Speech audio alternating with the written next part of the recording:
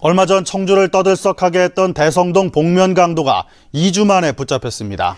배가 고팠다는데 돈 몇 푼에 철창 신세를 지게 됐습니다. 보도에 이재욱 기자입니다. 복면을 쓴 40대 남성이 주택가 골목길에 있는 의류 보관함으로 접근하더니 점퍼를 벗어 보관함 안에 집어넣고 황급히 사라집니다. 뭔가 초조하고 급해 보이는 남성.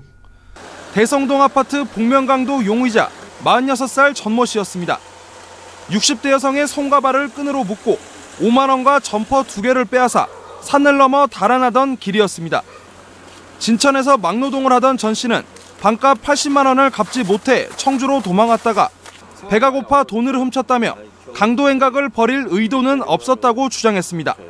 배가 고파가지고 사람 없는 줄 알고 밥만 먹고 나오려고 들어갔다가 경찰은 사건 발생 3일 뒤 엉뚱한 남성을 용의자로 지목하는 등 우여곡절 끝에 진천 공사장에서 막노동을 하던 전 씨를 검거했습니다. 그 주변 PC방, 그다음에 인력사무소 등을 열심히 뛰어서 잡았습니다.